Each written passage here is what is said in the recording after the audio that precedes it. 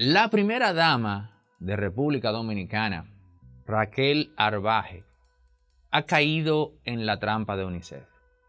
Nosotros le indicamos a ella o le habíamos dicho, señora, es cuestionable, es un error que usted diga, que usted diga, aquí no hacemos eso, refiriéndose al tema de deportar a su país a niños que vienen de, de la nación de al lado los vecinos como cariñosamente yo les digo a ellos.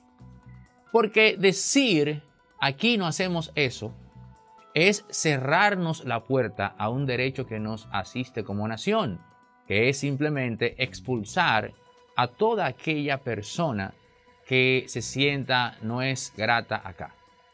Y yo sé que esto puede sonar duro, pero es la realidad. Alguien tiene que decirlo sin pelos en la lengua.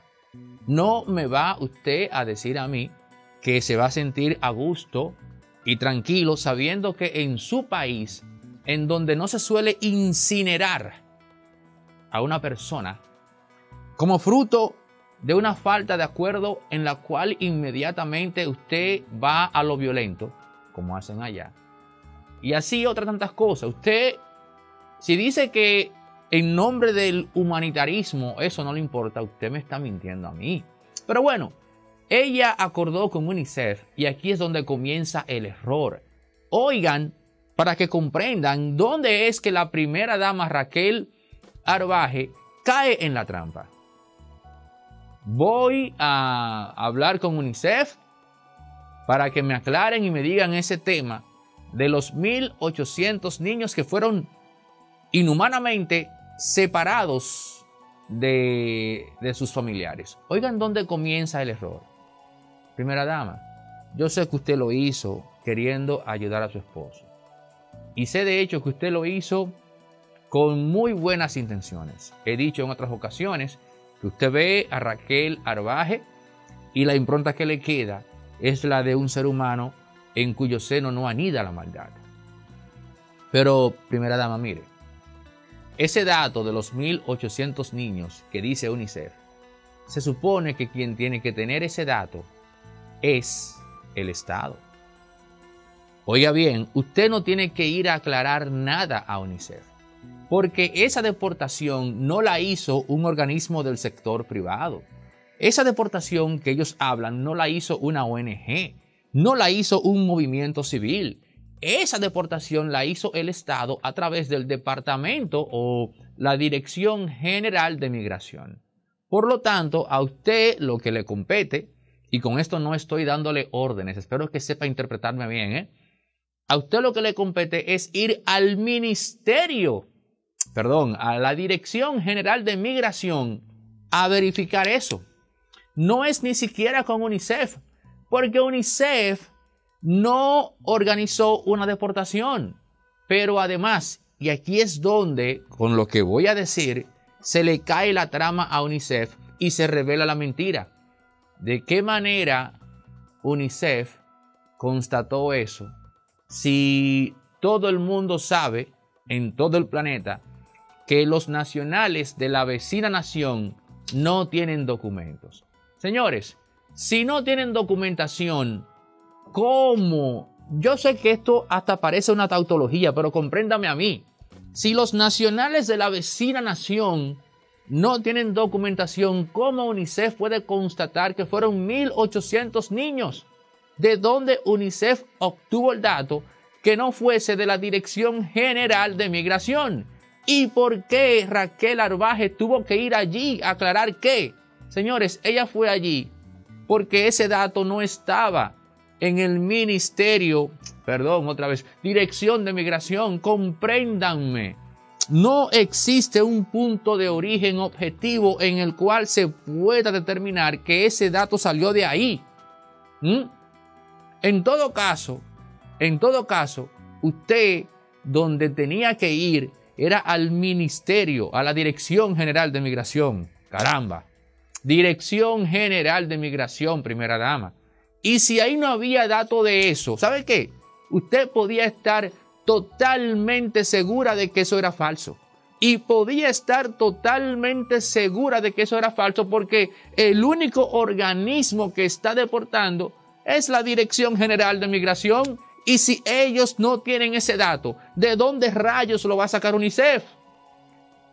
Miren mi cara de indignación, porque yo no puedo creer, primera dama, que quienes manejan el poder en mi país tienen menos lucidez que yo.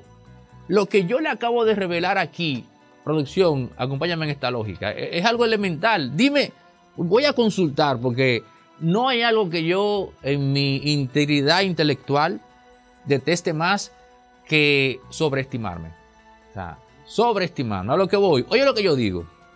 Si ella va supuestamente a, va a aclarar con UNICEF el tema ese de los 1.800 niños. Yo me digo, pero ¿quién fue que deportó a esos niños según UNICEF? Me dice el sentido común a mí que quien deportó a esos niños fue la Dirección General de Migración. Por lo tanto, donde ella tiene que ir primero es a migración.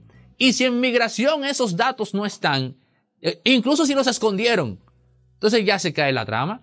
Si en la Dirección General de Migración no hay datos de eso, se revela que lo que dice UNICEF hizo facto es falso. Porque ¿de dónde rayos UNICEF sacó esa contabilidad? Me pregunto yo. Entonces, ¿estoy equivocado yo? No, no, usted no está equivocado, caballero. Entonces, primera dama, yo no quiero sentirme que soy más inteligente que usted ni que el presidente. No es el caso. Al contrario, me gusta rodearme de gente más brillante que yo. Y cuando yo siento que se cometen ese tipo de torpezas, entonces yo cuestiono intelectualmente a quien me dirige a mí. Entonces, yo aquí acabo de hacer un ejercicio de sentido común. Pero hay más. Esto no se acaba ahí. Esto no se acaba ahí. Siéntese que ahora, que ahora es que viene lo bueno. ¿Cómo es eso? ¿Cómo es eso de que nosotros tenemos que ir con UNICEF a consensuar un protocolo de deportación? Yo lo leí. En síntesis, para economizarle tiempo a usted, ese protocolo que se va a consensuar se traduce en que el, imperativo a tomar en cuenta es el bienestar del niño. Y yo me dije, oh, interesante, el bienestar del niño. Pero ¿qué niño? Tiene que ser del niño dominicano. Y aquí una vez más yo voy a parecer insensible. No, señores. Insensible es usted ante su país, que es República Dominicana, si cae en esa burda manipulación.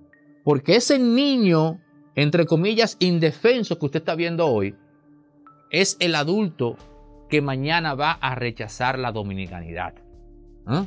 Ese niño indefenso que usted está viendo ahí hoy es un niño que fue expulsado de su país por su propia gente.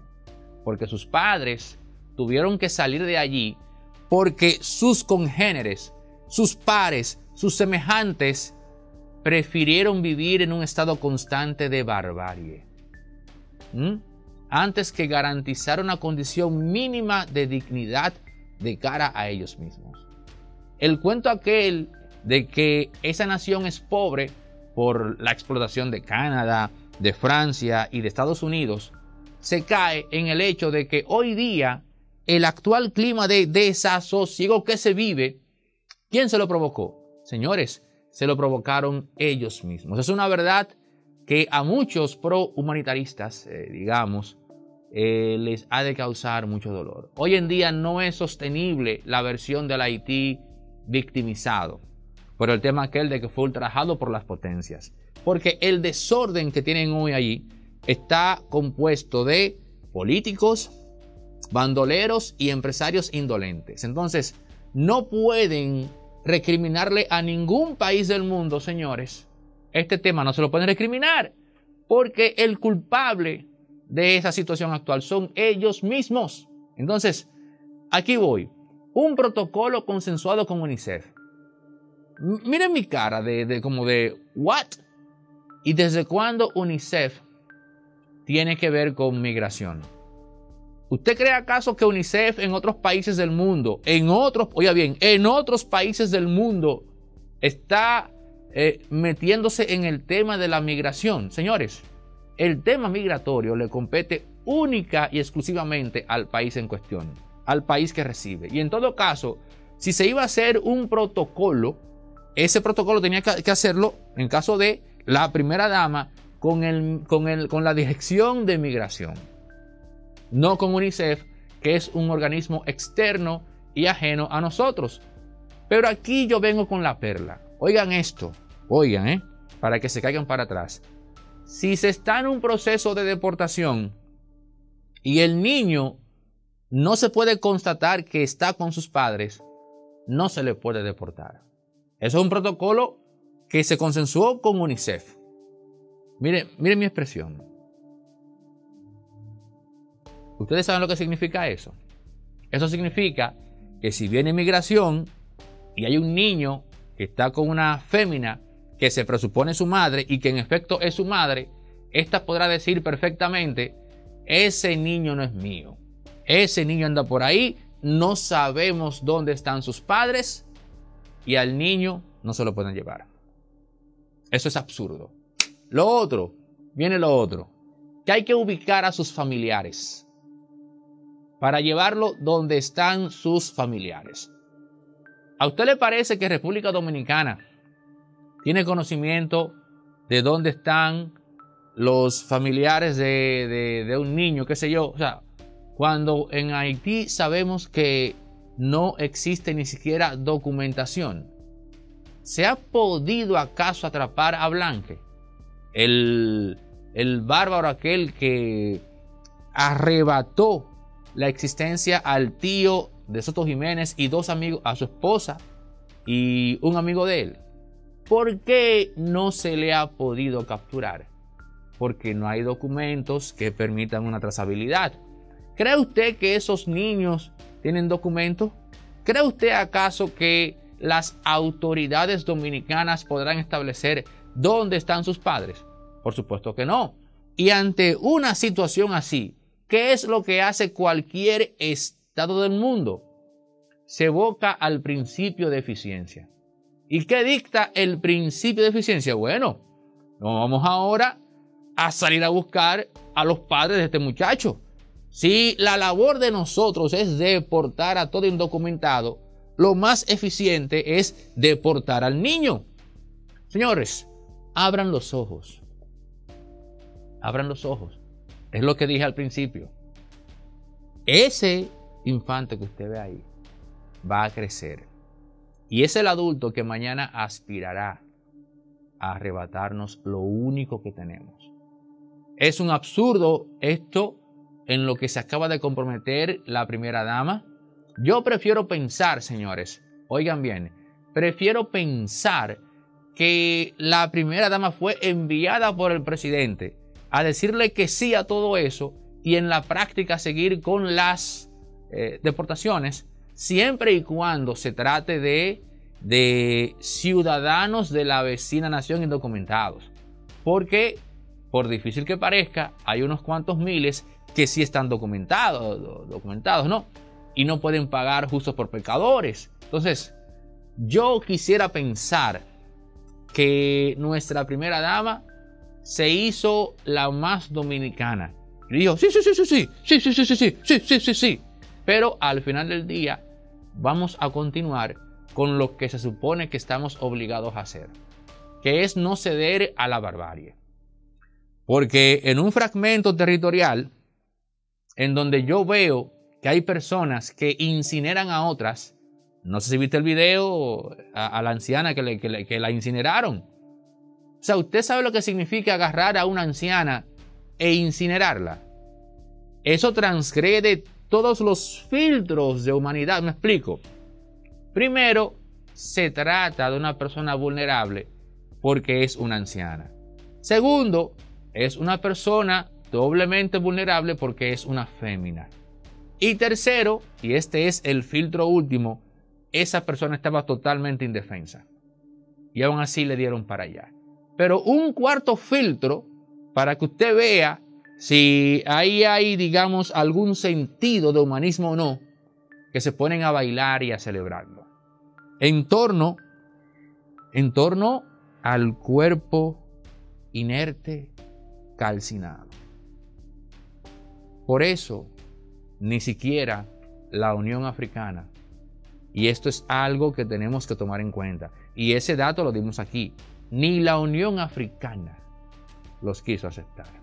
Lotedon tiene un nuevo ganador de 25 millones de pesos con el Agarra 4. Es la lotería que te la pone más fácil a la hora de hacerte millonario porque solo tienes que pegar cuatro números con el Agarra 4 de Lotedon. Seguirán sumándose millonarios. No te quedes fuera. Vamos, sé parte del listado de esos que con cuatro números se ha sacado 25 millones de pesos con el Agarra 4 de Lotedon. A toda la gente que está en el exterior dominicano ausente, que viene a pasarse las navidades en República Dominicana, llama o escribe al número que ves en pantalla. Es el de Viaja Tours para que conozcas los paquetes más competitivos a la hora de, digamos, pasar un fin de semana sumamente agradable con tu familia en tu país. Viaja tú, ya también puedes contar con ellos para actividades personales. Viaja Tours, expertos en confeccionar momentos agradables para ti. Farmacia Medicar GBC es la farmacia de los dominicanos abierta de lunes a domingo con los medicamentos a un 20 de descuento y los de la hipertensión y diabetes a un 30% de descuento. Farmacia Medicar GBC, la de nosotros los dominicanos. Tu marca también puede estar acá en Impolíticamente Correcto dándose a conocer. En el 829-741-3061 tendrás toda la información necesaria para que conozcas los diversos paquetes publicitarios para que te des a conocer en Impolíticamente Correcto y el otro canal de Aneudi Santos. Más de 2 millones de visualizaciones por mes garantizan que tu inversión dará resultados. Jardines 3 en Bávaro, a 15 minutos de la playa. Miren las fotos que muestra la elegancia, eh, digamos, el confort y la belleza de ese proyecto Jardines 3 en Bávaro con apartamentos de 66 metros cuadrados en adelante con precios de partida que van que van desde los 98 mil dólares. Jardines 3 en Bávaro más información en el 829-741-3061. Quedan aún apartamentos disponibles, así que ya lo sabes, Jardines 3 en Bávaro, a 15 minutos de la playa.